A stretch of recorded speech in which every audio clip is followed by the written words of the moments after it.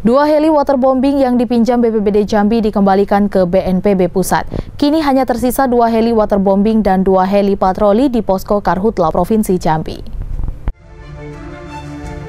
Badan Penanggulangan Bencana Daerah atau BPBD Provinsi Jambi kembali mengembalikan dua heli waterbombing ke Badan Nasional Penanggulangan Bencana Pusat pada tanggal 10 November 2021 lalu.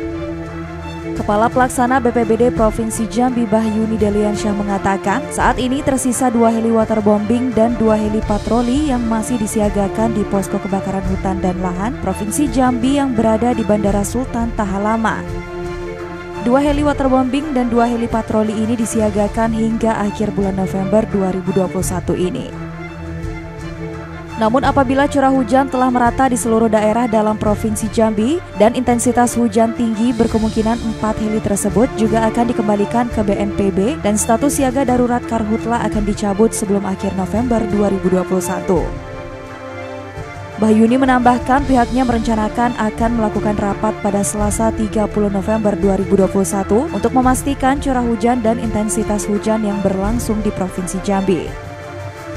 Hingga saat ini, tim masih melakukan patroli di daerah yang apabila tiga hari tidak terjadi hujan. Kebakaran hutan dan lahan kan trennya sudah memasuki musim hujan. Berarti beberapa daerah sudah basah.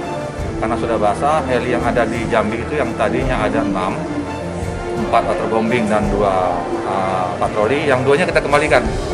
Yang duanya kita standby-kan sampai uh, akhir bulan uh, November ini untuk melakukan uh, mitigasi sebelum kami tutup atau kami cabut status siaga ini. Jadi berapa yang standby semuanya? Sekarang ada empat, dua waterbombing dan dua patroli.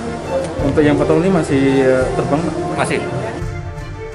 Rian Chen Chen, JEK TV, melaporkan.